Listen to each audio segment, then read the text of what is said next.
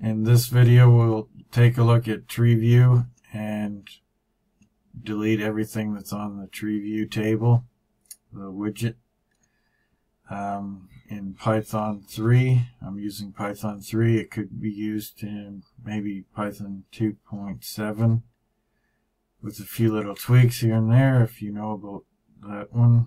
I've moved on and I'm using the latest um, 3.5.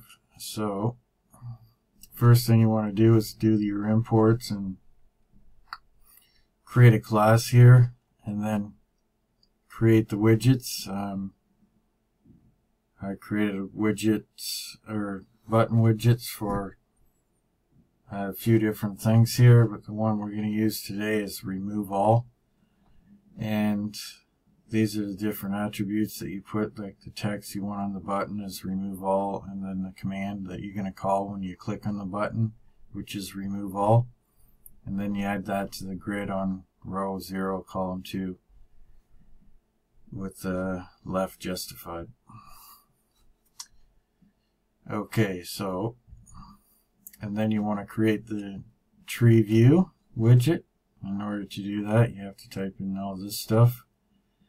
And the columns we're going to use are ID, symbol, price, trigger, shares, side, type, status, and fill based on a stock pending orders table that I'm going to be using to show the demonstration that we're doing.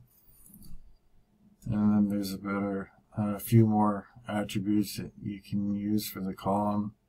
You can anchor it center and give it a width of 70 and all that stuff. And this thing I commented out is a bonus here for if you want to use a scroll bar. That's the code for it. Um, I just commented it out. I don't think I need it.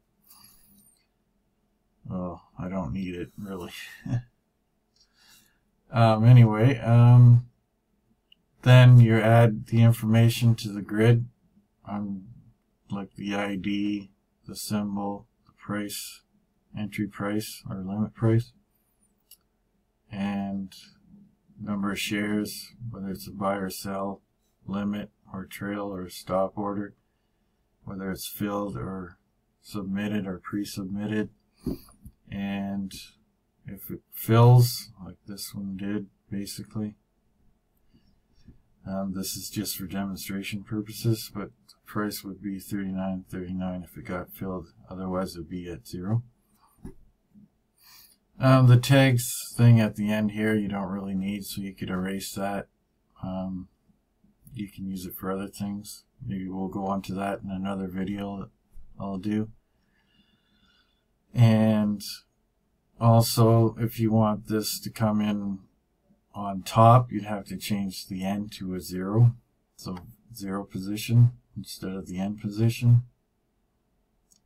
And okay, so when you press the uh, button for the um, remove all or delete all, uh, it calls this um, method here.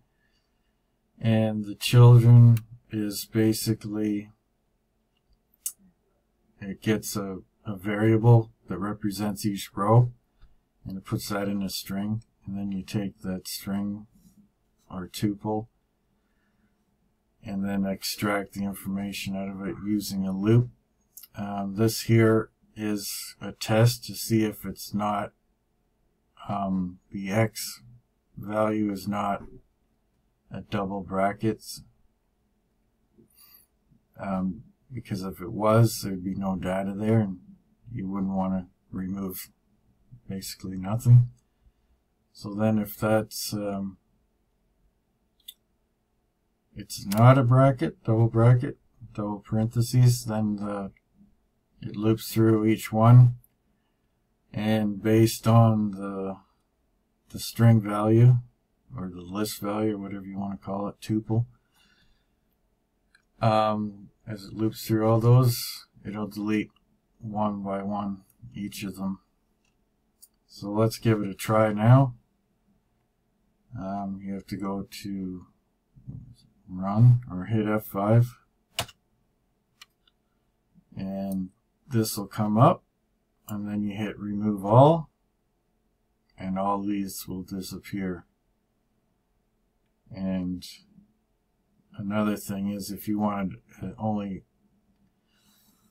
say Microsoft, if you wanted to cancel all the orders for Microsoft, you'd have to do a, an if statement to say if such and such a value in the values, like value number second value, you'd have to um,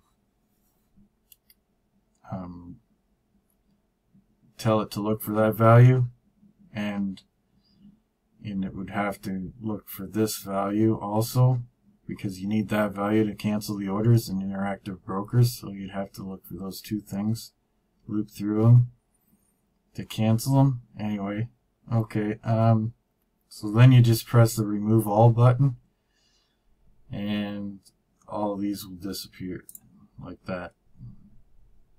Okay and I'll show you what that looks like.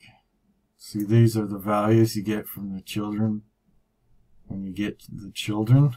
I don't know why they call them that but the values are like an I001 and an I002 and so that's row 1, row 2, row 3, row 4 so you use that to delete each row.